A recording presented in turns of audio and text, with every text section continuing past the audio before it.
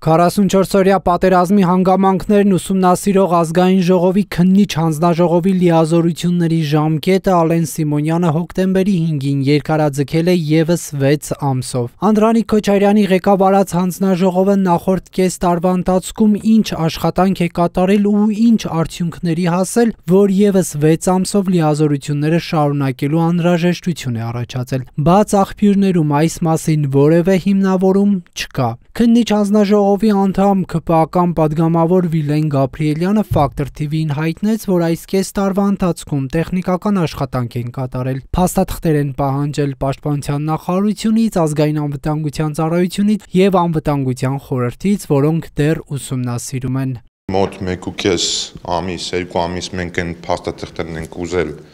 սպասել, որ որոնք որ ուզում ենք պաշտպանության նախարարությունից, այս 4 ամիսն է ուսումնասիրում ենք այդ փաստաթղթերը, այնտեղ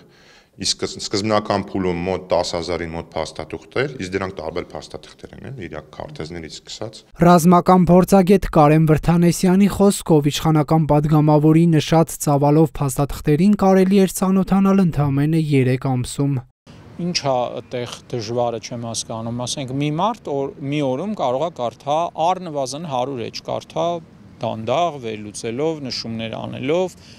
եւ այլն։ Հա, այդ նշանակումը 100 օրում մի մարդը 10000 էջը կարող է կարդալ, վերլուծել, մշակել 100 օրը դա 3 ամիս է։ Ու չեմ կարծում, որ այդ հանձնաժողովում մի մարդ է աշխատում։ Այս տարվա փետրվարի 21-ի հանձնաժողովի դրմբաց նիստից հետո պաշտոնական տեղեկություններ չկան, թե հանձնաժողովը քանի նիստ է գումարել։ Ըստ ազգային ժողովի պաշտոնական կայքի նիստեր չեն եղել եւ արձանագրություններ չեն կազմվել։ Իսկ քպական падգամավորները նիստերի անցկացման վերաբերյալ տվյալ իրարամերժ տեղեկություններ են հայտնում։ Եթե չեմ սխալվում, վաղը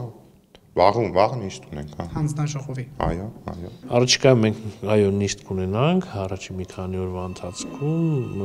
բացի նիստերից աշխատանքային քննարկումներ են շատ լինում, ավելի շատ քան նիստերը։ Որոշ հանգամանքներ հաշվի առնելով ենթադրելի է, որ իշխանություններն այս հանձնաժողովի աշխատանքների կազմակերպմանը նույն ողջավորությամբ չեն մոտենում, ինչպես քարորիա պատերազմի հանգամանքներն ուսումնասիրող հանձնաժողովի դեպքում։ Հիշեցնենք, որ 44-օրյա պատերազմին առնչվող հանձնաժողովի աշխատանքները սկսվեց նախատեսվածից ուշ ազգային ժողովը ամսի 2-ին պետք է առաջին նիստի ընթացքում ձևավորվի, դրանից հետո քննարկենք, բայց ես արդեն ասացի, որ իշխող ուժը այդ որոշումը իր համար արդեն կայացրել է եւ այդ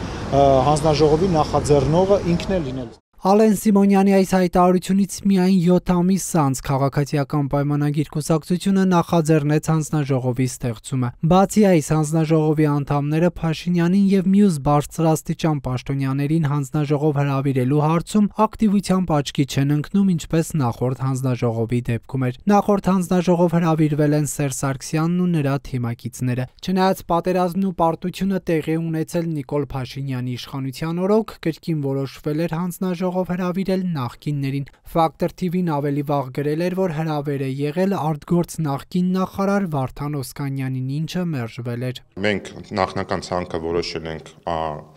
առաջարկները ուղարկել ենք իրենց հրավիրները, փաստացի մերժել են մի քանի օքի, հիմա իրավական առումով հնարավորություն չունենք այդ մարկանց, այսպես ասած, բերմանի ընդհարկելու, այդ ուղղությամբ ենք աշխատում, որպեսզի այդ իրավական հիմքը ստեղծենք։ Խորհրդարանական ընդդիմությունը, որ իշխանություններին է վերագրում պարտության ամբողջ մեղավորությունը, բայց չի մասնակցում քննիչ հանձնաժողովի նիստերին, ժամկետի երկարաձգումն աննպատակ է համարում։ Հայաստան խմբակցության ղեկավար Պաշտպանության նախկին նախարար Սերյան Օհանյանը պնդում է հանձնաժողովն անկախ չէ։ Ակնհայտ է, որ այդ հանձնաժողովի գործողությունները շատ դանդաղ են իրենք չունեն հանձնաժողովի կազմում այն պրոֆեսիոնալները, որոնք որ կքննեն Հանձնաժողովի կազմում ընդգրկված փորձագետները իրենք են պատերազմի ժամանակ պաշտոնատար մարդիկ եղել։ Իրենք էլ պետք է պատասխան տան այդ ամեն ինչի ամեն ինչի համար եւ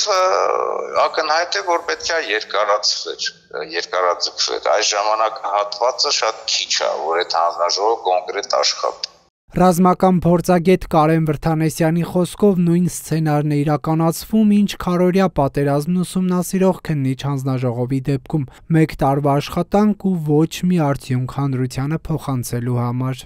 Այս ԱԺ-ի իշխանական խմբակցության падգամավորները օր ու գիշեր իրար հերթ չտալով Նիկոլ Փաշինյանին իրենց հավատարմության երաշխիքներ են տալիս այդ թվում հանրային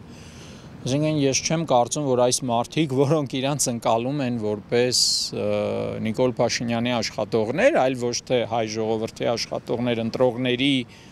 ծառաներ, հա,